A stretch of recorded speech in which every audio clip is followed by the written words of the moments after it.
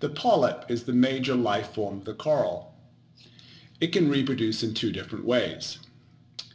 In sexual reproduction, the polyp releases eggs and sperm which fuse to form a zygote.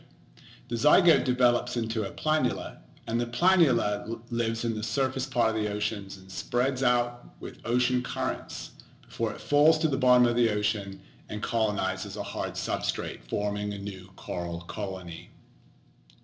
The second type of reproduction by the polyp is called asexual reproduction. And in asexual reproduction, the polyp itself either buds, forms a new bud, or divides, forms two separate polyps.